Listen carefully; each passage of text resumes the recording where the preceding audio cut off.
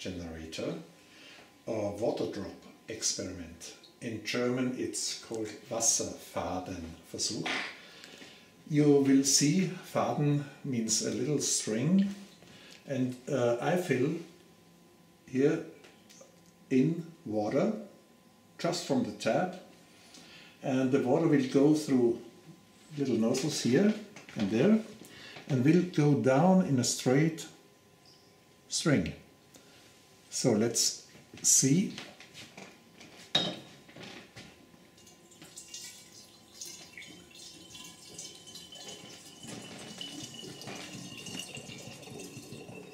Okay, here we go. And here you see straight Yes. string. And look what it, it's doing here after a while. Yes.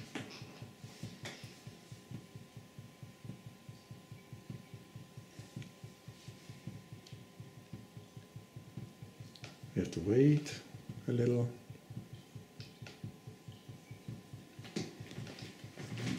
Look what's happening to that here. Doesn't work. Okay, okay, okay. So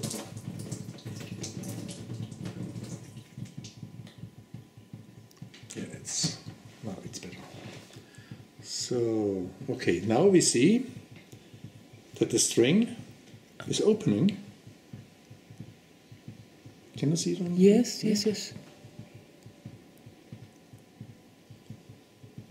And here, you see, there's no, there's a string there, but through the coil, then it starts to spread. And so we can create 10,000, 12,000 volt. Can show it here, for example. Why is it happening? Yeah, let's is this see happening? if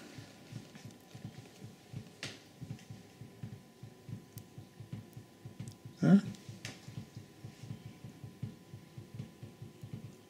Not yet. No, but at this electrometer, I can show that there is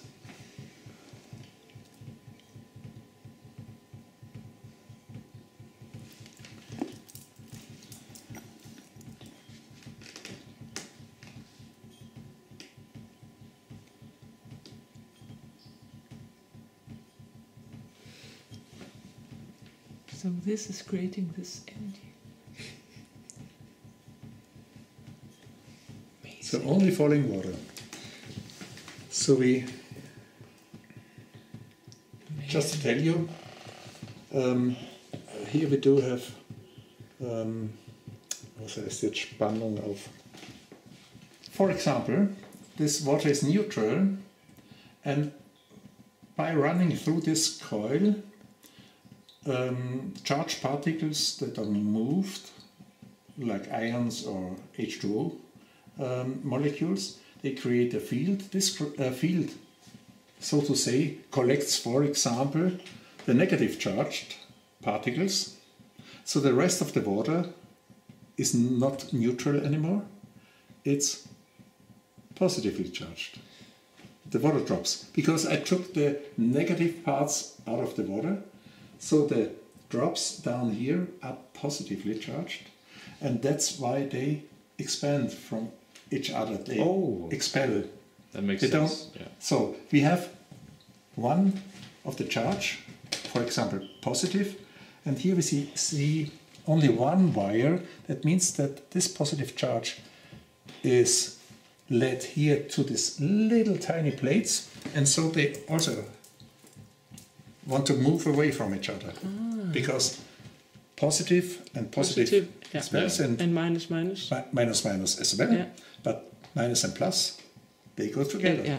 So we split the charge in minus and plus. And at night you could uh, take a vacuum or neon bulb here and it would, would flicker because it's 10,000 volts. But there is no current I can give my finger here on the coil and look what the string does, the water does. It's straight again. Ah. Because then it's getting grounding. Right, because I grounded it.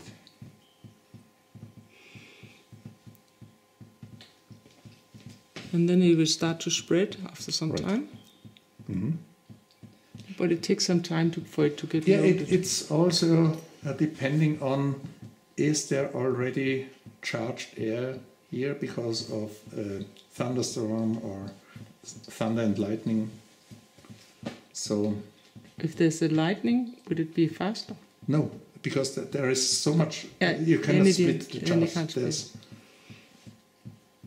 But Victor said maybe with a better order you get a better effect, Yeah, and you can uh, judge the quality of the water. I'll start to do it. Mhm.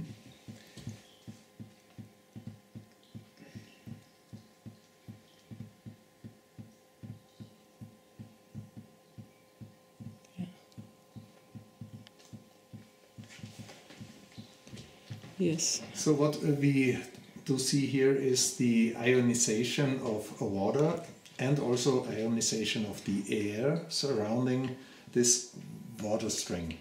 If you go to a, a waterfall, you have thousands, millions of strings, and they create some kind of um, negatively charged air with the ions in the air. And if you have, for example, asthma, you go to a waterfall or you go to the sea where the water is Yes. spread, and and then you can breathe better. Uh, your um, yeah, it helps you breathing. And um, they took children there to the waterfall, Krimmler Wasserfälle in Austria, and at the same uh, level uh, on the other side of the mountain, and only the young people who were at the waterfall could breathe better, the others not. They, there was no That's- change. Amazing. And so the water somehow is energized, um, it, it is charged negatively and helps you breathing.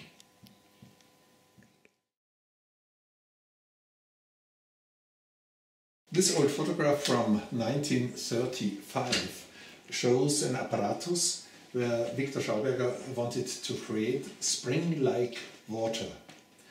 And uh, what he did is what nature does since the beginning. Water rains down, falls down on earth, it wanders into the earth, then is cleaned, regenerates, wanders meandering up the mountains, taking minerals with it, and then up there is a cold spring with wonderful water. So this way of cleaning and then regenerating and meandering and minerals he put in one apparatus. And he could create from normal tap water a spring-like water in the 1930s. And that leads us to our days where we do have only the half cycle. The meadows, everything is paved, the big machines, artificial fertilizers, etc. The water cannot go into the ground. It is running on the surface to the next river and cannot regenerate.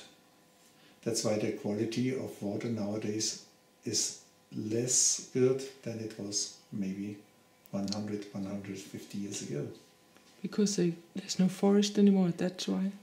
No forests, no uh, circulation, no full cycle of the water where it can rest, where it can clean itself, where it can take minerals with and cool down. Yeah. Very interesting that at the very top of the mountains there are springs where there are no more trees, but the water is near 4 degrees Celsius, where water is the heaviest at 4 degrees. How come that the coldest water, that is the heaviest water, is on top? My water is your water, your water.